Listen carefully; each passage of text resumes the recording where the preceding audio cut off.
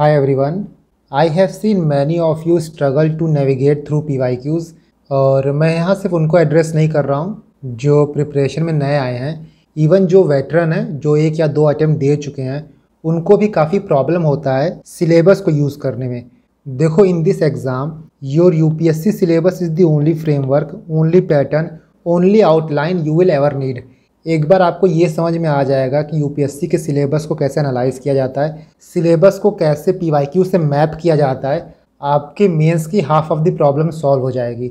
चाहे आपको आंसर लिखना हो, चाहे नोट्स प्रिपेयर करने हो, चाहे आपको एग्ज़ाम में मल्टीपल डायमेंशंस कवर करने हो, ये सारी चीज़ें बिना आप सिलेबस एंड पीवाईक्यू के रियल अंडरस्टैंडिंग के बिना नहीं कर पाओगे। सो इन दिस वीडियो में मोटा मोटा तीन चीज़ों के बारे में बात करूँगा। सबसे पहले हम सिलेबस को देखेंगे यूपीएससी के। एंड कुछ की पॉइंट्स हैं, कुछ की फीचर्स हैं जिसको हम आइडेंटिफाई करेंगे।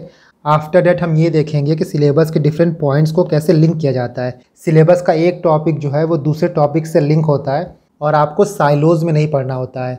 एक बार आप ये फिगर आउट कर लोगे कि कौन सा टॉपिक किससे लिंक करता है, किस टॉपिक का किसके साथ ओवरलैप होता है तो जो आपके बल्कि नोट्स होते हैं ना, वो भी शॉर्ट हो जाएँगे। एंड आप अपने कुछ पॉइंट्स को ही मल्टीपल जगह यूज़ कर पाओगे। एंड लास्टली हम सिलेबस को पीवाईक्यू से मैप करेंगे। This is the most important thing and आप इससे समझ पाओगे कि पीवाईक्यू को एनालाइज कैसे किया जाता है। नाउ सबसे पहले देखो हम प्री का सिलेबस देखते हैं। प्री का सिलेबस आई थिंक कि आपको क्लियर पिक्चर नहीं देता है।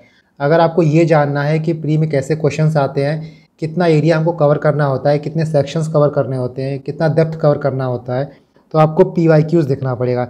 यहाँ देखोगे तो सिंपली आपको हेडिंग मिल गया है। लाइक करंट अफेयर आएगा हिस्ट्री आएगा जोग्राफी आएगा पॉलिटी आएगा इकोनॉमिक्स है एनवायरनमेंट है and lastly general science but exam में क्वेश्चन इसके बियॉन्ड पूछे जाते हैं।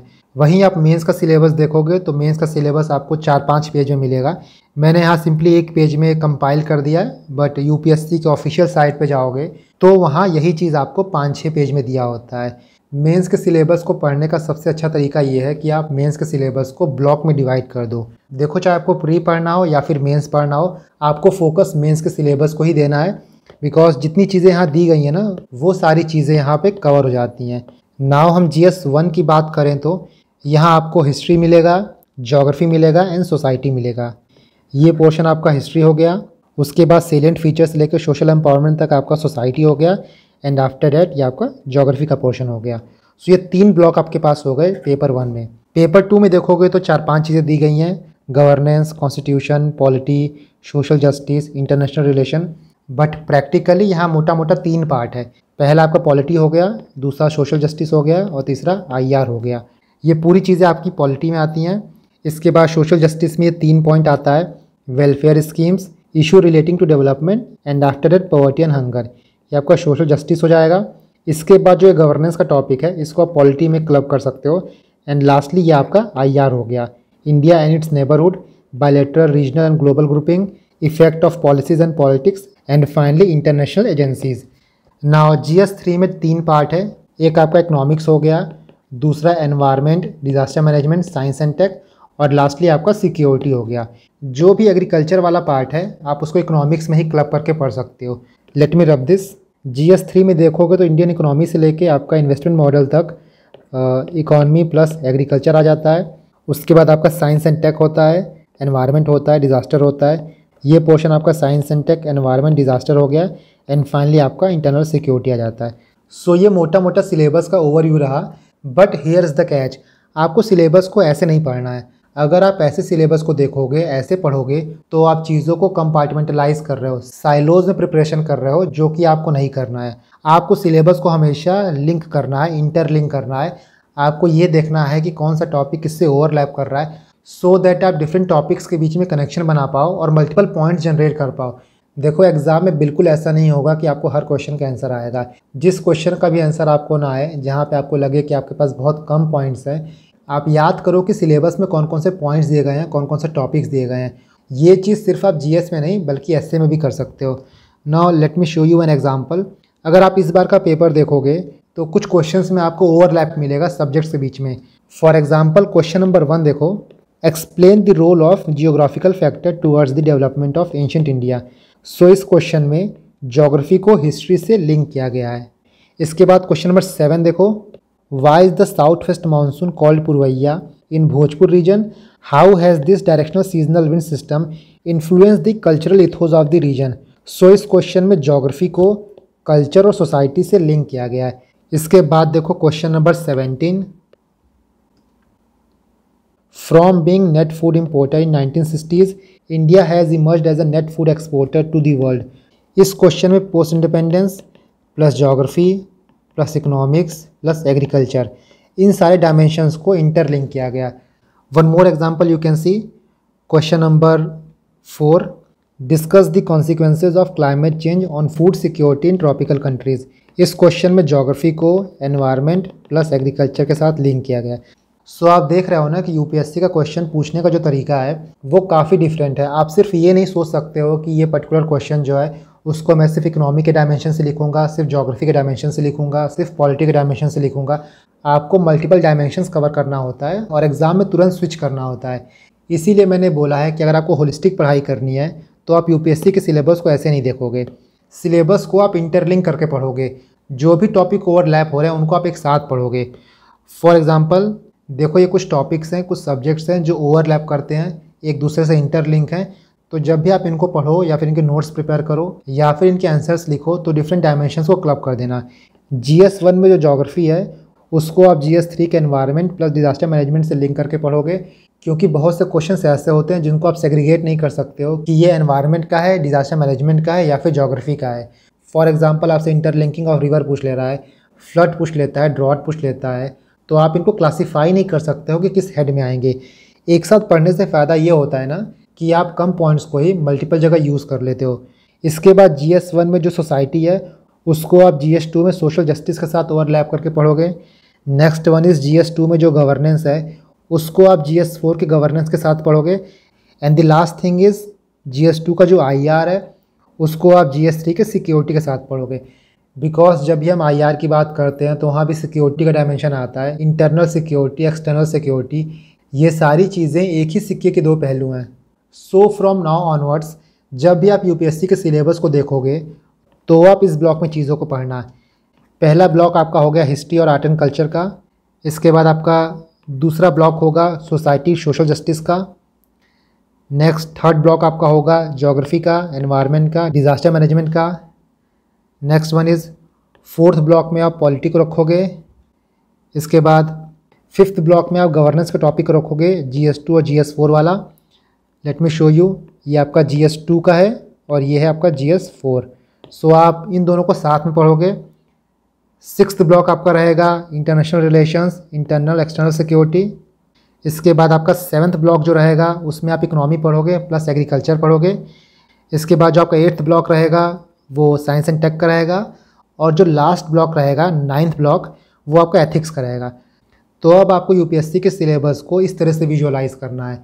ना कि अगर आप जोग्राफ़ी पढ़ रहे हो तो सिर्फ़ जोग्राफ़ी पढ़ो सोसाइटी पढ़ रहे हो तो सिर्फ़ सोसाइटी पढ़ो। इस पीडीएफ को मैं टेलीग्राम पे डाल दूँगा, आप इसको डाउनलोड कर लेना एंड इसका प्रिंट आउट निकाल लेना। ना ये तो हमने देख लिया कि टॉपिक्स को कैसे इंटरलिंक किया जाता है। जो भी ओवरलैपिंग टॉपिक्स हैं, उनको एक साथ पढ़ना है। बट टॉपिक्स के अंदर हमको पढ़ना क्या है, ये कहाँ से पता चलेगा? क्योंकि सिलेबस को देखोगे तो सिर्फ़ एक लाइन दिया है।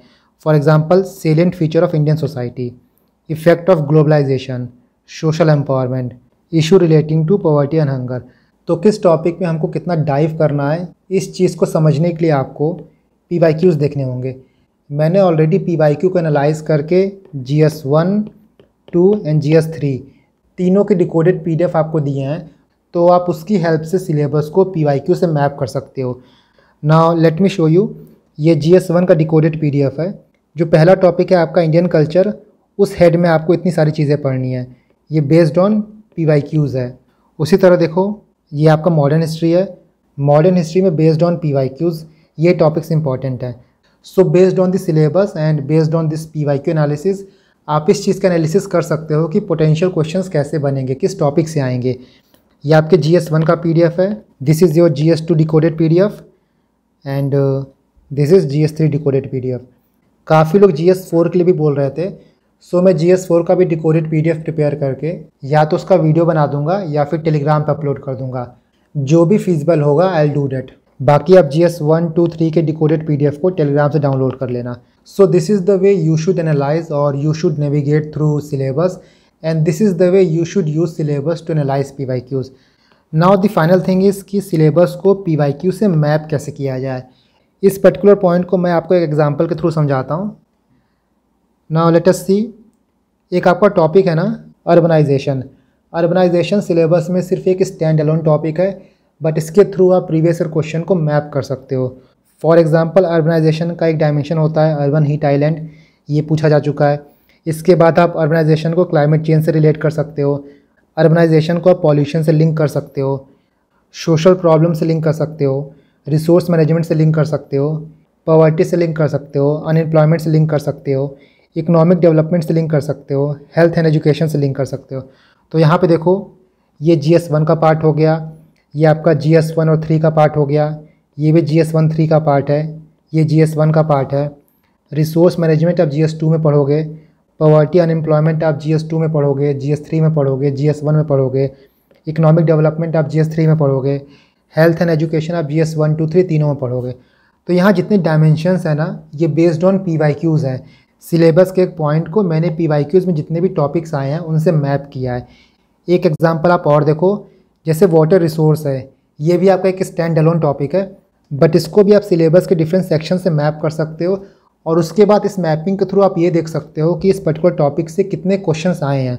जैसे यहाँ देखो वाटर रिसोर्स को आप डेवलपमेंट इशू से लिंक कर सकते हो अर्बनाइजेशन से लिंक कर सकते हो factor responsible for location of industry से लिंक कर सकते हो इसके बाद जियो फ़िज़िकल फिनोमिना से लिंक कर सकते हो। ड्रॉट हो गया फ्लड हो गया water bodies ice cap next cropping pattern से लिंक कर सकते हो इरिगेशन से लिंक कर सकते हो कंजर्वेशन एनवायरमेंटल पॉल्यूशन से लिंक कर सकते हो एंड फाइनली डिजास्टर मैनेजमेंट से लिंक कर सकते हो। इस लिंकेज के बाद लेटेस्ट सी की पी में कितने क्वेश्चंस पूछे गए हैं? तो so, देखो 2023 में एक क्वेश्चन आया था। Why is the world today confronted with crisis of availability of an access to fresh water resource ये 2023 में पूछा गया है, जी एस वन का पार्ट है। नाउ देखो पी वाई क्यू मैपिंग कैसे काम करता है। 2021 में देखोगे तो क्वेश्चन आया था environmental implication of declamation of water bodies into urban land use ये क्वेश्चन आपका जी एस वन का था। 2021 में ही जी एस थ्री में क्वेश्चन आया था how and to what extent micro irrigation help in solving India water crisis 2020 में जी एस वन में पूछा है how will the melting of Himalayan glacier have a far reaching impact on water resource 2020 में ही पूछा था G S one में the interlinking of rivers related इसके बाद 2020 में पूछा है जी एस थ्री में suggest measure to improve water storage and irrigation system 2020 में पूछा था what are the major factor responsible for making rice wheat system a success इस क्वेश्चन में भी वाटर अवेलेबिलिटी एक सेंट्रल थीम होगा. 2020 में ही पूछा था सेलियंट फीचर ऑफ़ जल शक्ति अभियान. इसके बाद 2019 में पूछा है नेशनल वाटर शेयर प्रोजेक्ट के बारे में। 2019 में पूछ लिया था कि वाटर स्ट्रेस क्या होता है और रीजनली कैसे डिफ़र करता है। देखो, जो ग्रीन है ना, वो जी एस थ्री में पूछा गया है और जो ब्लू आउटलाइन है, वो जी एस वन में पूछा गया है। 2018 में पूछा है, ideal solution of depleting ground water resource in India is water harvesting system. 2016 में पूछा था, effective management of land and water resource. इसके बाद 2016 में पूछा है, water use efficiency, micro irrigation से लिंक करके 2016 में ही पूछ लिया था कि micro watershed development project drought prone area में कैसे हेल्प करेगा। 2015 में पूछा है India is well endowed with fresh water resource critically examine why it still suffer 2013 में पूछा था नेशनल वाटर पॉलिसी सो यहाँ पे देखो ऑलमोस्ट 15-16 क्वेश्चन दिया गया है 2013 से लेकर 2023 तक के बीच में वाटर रिसोर्स के ऊपर. एंड मोर और लेस सबका जो कंटेंट है, सबका जो स्ट्रक्चर है, वो सेम ही रहने वाला है। आपके पास सिलेबस में एक टॉपिक है वाटर रिसोर्स उसको आप उठाओ। उससे आप देखो कि पीवाईक्यू में कैसे क्वेश्चन पूछे गए हैं। पी से सिलेबस को उस टॉपिक को मैच करो एंड इसके बाद अपने एक नोट्स प्रिपेयर करो। आफ्टर डेट मैं गारंटी के साथ बोल रहा हूँ कि वाटर रिसोर्स पे कोई भी क्वेश्चन आएगा, कैसा भी क्वेश्चन आएगा, बहुत ईजिली आप उसको सॉल्व कर लोगे। So this is the way you should map syllabus with P Y Qs आपको drought flood food security fresh water resource irrigation system इनको अलग अलग करके नहीं पढ़ना है इंटरलिंक करके पढ़ना है। और जब आप इंटरलिंक करके पढ़ोगे तो मैक्सिमम पॉइंट जनरेट कर पाओगे। आपको इसके बाद किसी और पैटर्न किसी और फ्रेमवर्क की ज़रूरत नहीं होगी। मैं इस पी को भी टेलीग्राम पर डाल दूँगा। आप इसको देख के खुद एनालाइज करना कि वाटर रिसोर्स में कितने डायमेंशंस कवर होते हैं।